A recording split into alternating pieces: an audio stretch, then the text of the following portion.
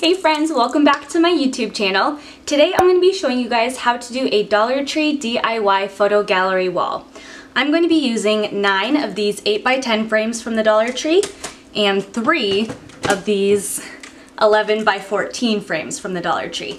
I will also be using photos that I printed from Shutterfly and command hanging strips that I will put on the back of the photos since the photo frames since I live in an apartment and don't want to put holes into my walls. So I think that's everything you guys need to know. Without further ado, let's jump into the video. So here's my photos that I got from Shutterfly. I printed these in 5 by 7 and you'll see why. Um, but they just look like that and I did on accident do a couple horizontally but I will be using the vertical one. So I'll be using 8 of these photos that I printed from Shutterfly. And then here's the 11 by 14 frame and the 8 by 10 frame. And on the 8 by 10 frame, I will be putting the 5 by 7 picture on these um, frames, on this size of frame. And I will be using cardstock paper to make the matted edge of the photo. These photos will be going in um, the bathroom in their own little spot. And then I plan to put nine of these in a nice little array in our living room on the wall. So as you can see, it's a different day. Um, I filmed that intro on a different day, but we're still doing the same project. So without any further ado, let's jump into the project. So first, you're going to take the plastic off that frame, um, take off the back, and just dispose of that paper that comes in the frame. And then you'll grab your 11 by 14 size photo, put it inside the frame with the glass in the front, and it's as easy as that. So here's how the finished photos turned out for those 11 by 14 frames. I have a picture when we were in Paris, a picture in Venice, and then the last one is a picture when we were in Switzerland. I guess that's the first one I showed you guys. Yep, there it is. So those will look great in our bathroom. Now for the 8 by 10 frame, go ahead and remove the plastic.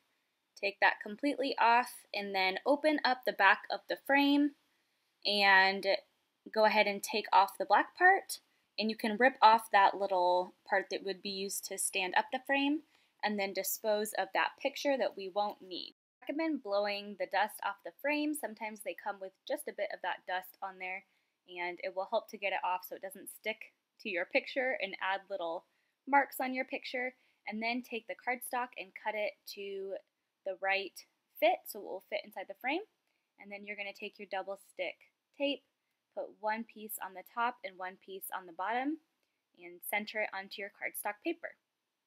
Then go ahead and take your cardstock picture face down, put it behind the glass, and close up your picture frame, and then you're done.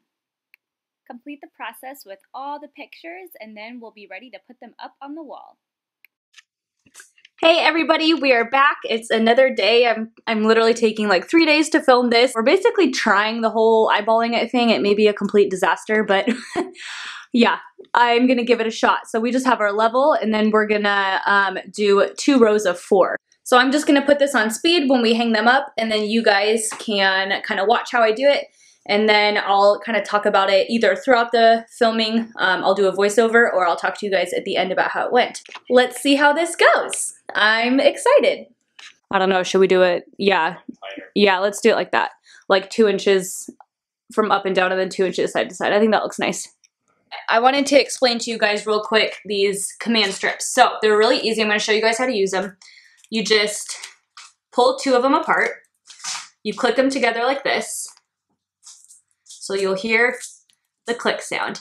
And then you're gonna take the sticky off of one side and then just put one on either side. Because these frames are so light, lightweight, each of these holds two pounds. So you're just gonna stick it like that onto the frame. Make sure it's real nice and stuck. And then you're gonna take this part off. And then you're gonna do that to the other side.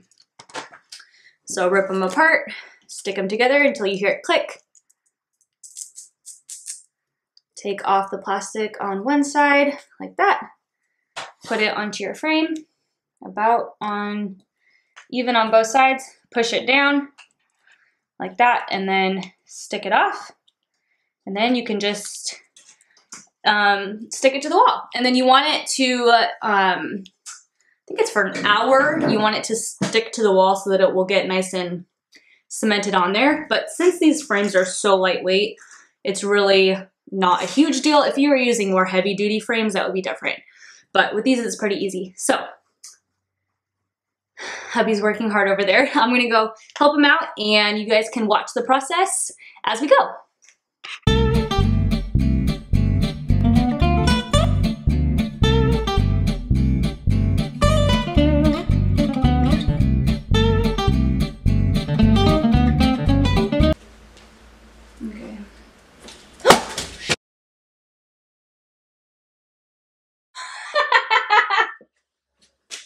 Not doing this solo. we've had a bit of a roadblock that we've bumped into. I'm actually really sad. So we ordered 18 command strips from Amazon and we're short a lot. We have 2, 4, 6, 8, 10, 12, 14, right? So they only give us 14 pairs and we're supposed to get 18 pairs. So as you saw from that last clip, we are trying to hang the frame just by one command strip. Obviously, as you can tell, I don't recommend doing that. I'm frustrated about that. Now we're two frames short up on the wall. And yeah, that really stinks. How frustrating. I'm gonna try to figure something out. Maybe we'll just have to nail the last one in the wall because I just really don't wanna leave it like that. Like, that's depressing. But anyways, thank you, Mr. Helm, for all your help. But how sad. Command strips, boo. Ladies and gents, look at that handiwork.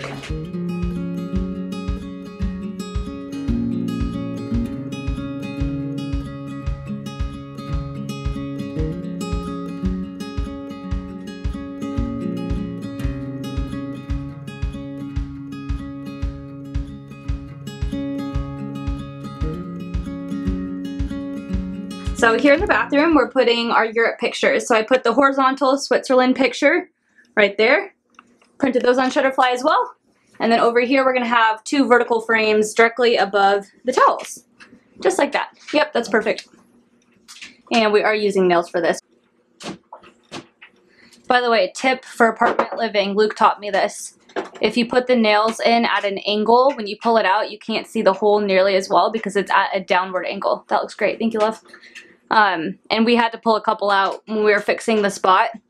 And it's true, I could barely even see where the nail hole was. So if you're apartment living like we are, there's a tip for y'all if your command strips don't work like, well, ours worked, but if you run out of them, even though you calculated the exact amount.